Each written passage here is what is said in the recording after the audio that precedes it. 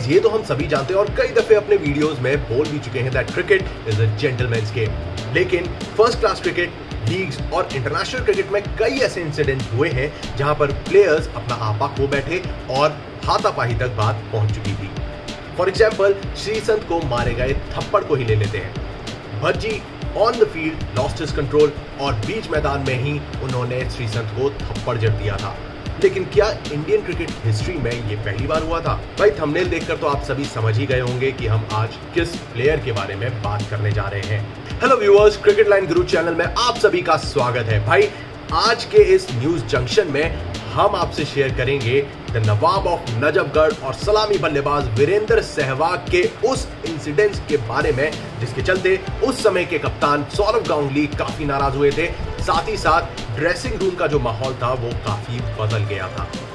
Well हाल फ़िलहाल Indian team England tour पर है और ये मामला भी इंग्लैंड टूर से जुड़ा हुआ है। तो दोस्तों, इसे डिस्कस करने का ये एक और रीजन है। भाई, ये बात है 2002 की, जब जॉन राइट इंडिया टीम के कोच हुआ करते थे और इंडियन टीम इंग्लैंड का दौरा कर रही थी। और उस टीम में हमारे विस्फोटक बल्लेबाज वीरेंद्र सहवाग भी शामिल थे। हालाँकि वो उस बीच एक खराब दौर से गुजर रहे थे बट ऐसे में उन्हें थप्पड़ मारना वो भी इंडियन टीम के कोच द्वारा। ये आखिर कितना जस्टिफाई करता है? आज हम इस वीडियो में आपसे जानना चाहेंगे तो अपना जवाब हमें कमेंट सेक्शन में ज़रूर दीजिएगा। अब जो लोग इस इंसिडेंट से वाकिफ नहीं है, उन्हें बता दें कि इस पूरी घटना के बाद बड़ा बवाल खड़ा हुआ था और उस समय के कप्तान सौरभ गांगुली, यानी कि हमारे दादा, बेहद नाराज़ हुए थे।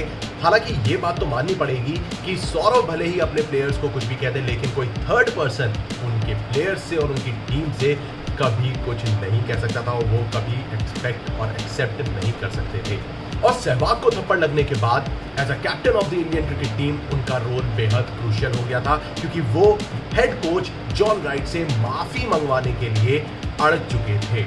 अब उस वक्त राजीव शुक्ला जी टीम के मैनेजर हुआ करते थे। सौरभ गांगुली गए उनके पास और उन्हें इस पूरे इंसिडेंट के बारे में बताया और इंसिस्ट किया कि जॉन को सहवाग से माफ़ी मांगनी चाहिए। अब जब राजीव शुक्ला, जॉन राइट के पास जाते हैं इस पूरे इंसिडेंट के बारे में बात करने के लिए तो जॉन का ये काउंटर होता है कि एज अ टीचर उन्होंने सहवाग पर गुस्सा उतारा था। और ये साफ़ किया कि उन्होंने सहवाग को सिर्फ़ धक्का दिया था और थप्पड़ बिल्कुल नहीं मारा था, क्योंकि वो लगातार एक ही गलती कर रहे थे, जो कि जॉन राइट को बर्दाश्त नहीं हुई थी। अब दोस्तों, यहाँ पर बात यह आती है कि जब आप एक इंटरनेशनल लेवल पर कंट्री को रिप्रेजेंट कर रहे होते हैं तो ऐसे में एक कोच का प्लेयर पर फिजिकली हाथ उठाना या फिर धक्का देना किस हद तक जस्टिफाई करता है? भाई, आजकल माँ बाप भी एक उम्र के बाद बच्चे पर हाथ उठाना बंद कर देते हैं। तो यहाँ पर ऐसे में ये इंसिडेंट आपके अकॉर्डिंग कितना वाजिब है? हमें अपना जवाब इस बारे में कमेंट सेक्शन में ज़रूर दीजिएगा। तो अब इस पूरे इंसिडेंट के बाद सौरभ गांगुली तो अड़ चुके थे कि जॉन राइट को सहवाग से माफ़ी मांगनी चाहिए। वेल अब इस पूरे इंसिडेंट में सचिन तेंदुलकर का कहना और उनकी राय कुछ और ही थी। उन्होंने राजीव को बताया कि अगर हेड कोच ही टीम मेंबर से माफ़ी मांगेगा तो हम और क्या एक्सपेक्ट कर सकते हैं? और ऐसे में उनका, यानी कि जॉन राइट का सहवाग से माफ़ी मांगना वाजिब नहीं है। तो भाई, इस तरह से राजीव शुक्ला ने सहवाग को समझा बुझाकर इस पूरे मामले पर मिट्टी डाली और इंडियन क्रिकेट टीम में एक बड़ा बवाल होने से टल गया।